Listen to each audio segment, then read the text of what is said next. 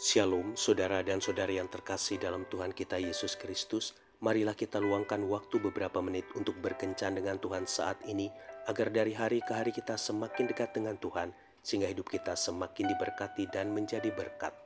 Kencan dengan Tuhan, Rabu 25 Oktober 2023. Bacaan dari Injil Matius bab 5 ayat 13. Kamu adalah garam dunia. Jika garam itu menjadi tawar, dengan apakah ia diasinkan? Tidak ada lagi gunanya selain dibuang dan diinjak orang.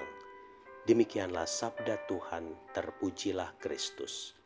Saudara dan saudari yang terkasih dalam Tuhan kita Yesus Kristus, 13 tahun lalu, tepatnya di bulan Oktober, saya membeli sebuah handphone BlackBerry yang second ketika saya melihat bahwa BlackBerry tersebut bisa digunakan untuk mengirim pesan langsung ke banyak orang, lalu saya mencoba mengirimkan doa pagi ke murid-murid saya.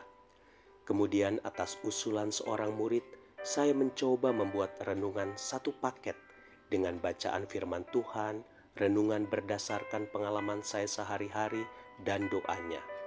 Tujuan saya sederhana, yaitu supaya murid-murid bisa membaca satu ayat firman Tuhan setiap hari. Akhirnya tanggal 25 Oktober 2010, saya mulai mengirimkan renungan yang saya beri nama Kencan dengan Tuhan.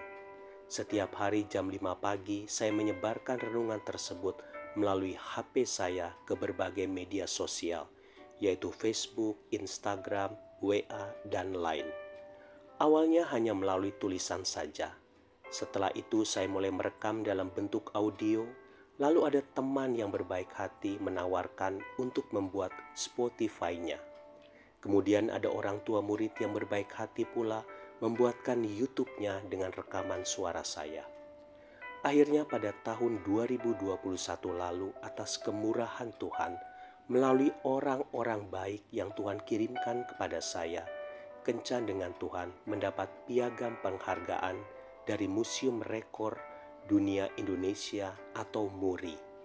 Kini Kencan dengan Tuhan sudah 13 tahun menjadi bacaan harian untuk mengawali setiap hari baru dari banyak orang, bukan hanya di Indonesia, tapi juga orang-orang Indonesia yang ada di berbagai negara. Saudara dan saudari yang terkasih dalam Tuhan kita Yesus Kristus, Tuhan Yesus melalui bacaan di atas menjadikan kita sebagai garam dunia. Mengapa Yesus memilih kita menjadi garam dunia, bukan permata atau berlian dunia yang lebih mahal?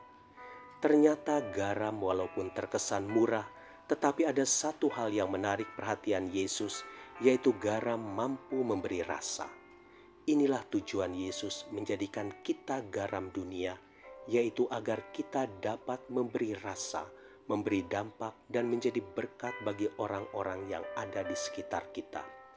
Kita tidak perlu menjadi kaya, terpandang, menjadi pejabat, atau memiliki keahlian tertentu dulu supaya mampu memberi rasa atau dampak bagi sesama. Ketika Yesus memberi kita tugas menjadi garam dunia, itu artinya Ia sudah memberi kemampuan kita untuk bisa melakukannya maka melalui senyuman, sapaan, perhatian, kepekaan hati, dan hal-hal sederhana lainnya yang membuat orang lain merasa nyaman dan terbantu dengan kehadiran kita, kita sudah memberi rasa kepada mereka. Saya mengutip perkataan dari Mother Teresa. Kita merasa apa yang kita lakukan tidak lebih hanya ibarat setetes air di lautan, tetapi lautan itu sendiri merasa kurang tanpa adanya tetesan yang hilang itu. Saudara dan saudari yang terkasih dalam Tuhan kita Yesus Kristus, saya sudah memulai dengan kencan dengan Tuhan yang tanpa saya sadari sudah memberkati banyak orang. Kini saya mengajak Anda semua untuk juga bisa memberi rasa kepada orang-orang yang ada di sekitar Anda, baik melalui perkataan, pikiran, perasaan, dan perbuatan yang baik. Karena dalam kehidupan ini, kita tidak dapat selalu melakukan hal yang besar, tetapi kita dapat melakukan banyak hal kecil dengan cinta yang besar.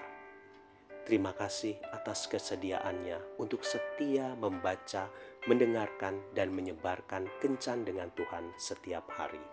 Tuhan Yesus memberkati. Marilah kita berdoa Dalam nama Bapa dan Putra dan Roh Kudus. Amin. Tuhan Yesus, berilah aku hikmat agar aku dapat memulai hidupku untuk memberi rasa bagi orang-orang di sekitarku, sehingga melalui kehadiranku namamu semakin dimuliakan. Amin. Dalam nama Bapa dan Putra dan Roh Kudus. Amin.